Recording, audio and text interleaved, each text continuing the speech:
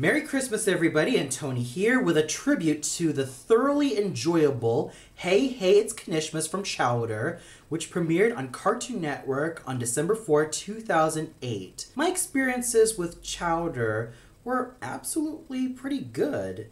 I started watching the show ever since I was about 15 or 16 when it premiered on Cartoon Network and I did enjoy the show. Yes, the show did come out during Cartoon Network's dark age, but still a very refreshing and enjoyable show, which did have a fair amount of light to what was otherwise Cartoon Network's really dark age before Toonami got canceled and before CN Real started to come into fruition. So it was really safe to say that Chowder was one of the most thoroughly enjoyable pieces of work Cartoon Network had to offer, and it was all thanks to one man, C.H. Greenblatt, who really put the show on the map and gave it its creativity, its life, its sense of laughter, its sense of imagination, and of course, his great sense of fun. I can definitely tell that Chowder is not only a very fun show to watch, but it's also quite smartly written with a great amount of referential humor and, of course, some fourth wall breaking, which this show thrives upon. So I'm not going to mince words here. Chowder is definitely one of the most thoroughly hilarious animated shows I have ever watched and Hey Hey It's Knishmas definitely proves it to be one of the best Cartoon Network holiday specials I have ever seen. This holiday special starts off with a stop motion segment of Gazpacho ice skating as he also serves as the story's narrator. And one funny scene in this particular segment is that when a baby asks Gazpacho what's gonna happen if Knish Kringle, Marzipan City's version of Santa Claus, does not like any of the Schmingerbread houses, Gazpacho proceeds to tell that Knish Kringle will unleash a lot of destruction and destroy those said Schmingerbread houses, which then leads the baby into boisterous tears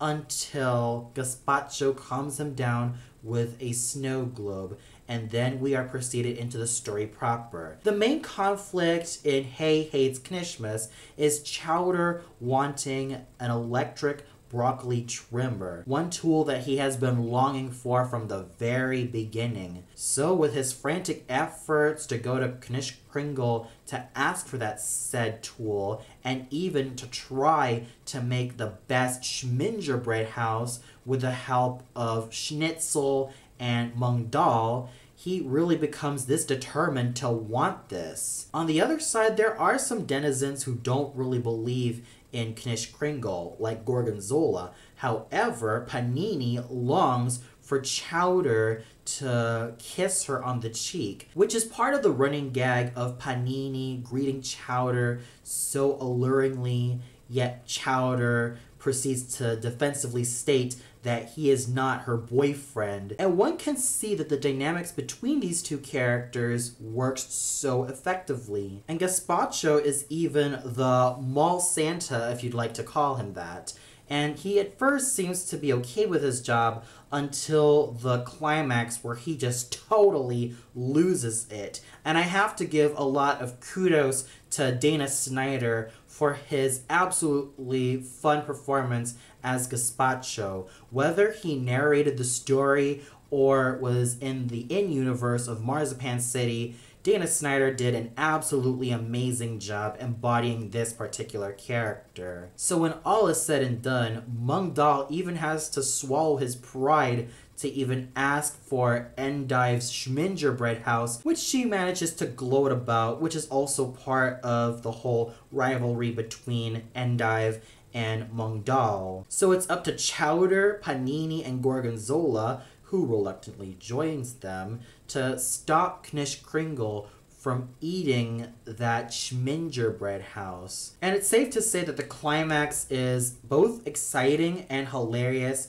and I'm not going to spoil the ending, but let's just say that it's also a combination of hilarious, but this time it's also quite heartwarming and will leave you with a huge smile on your face.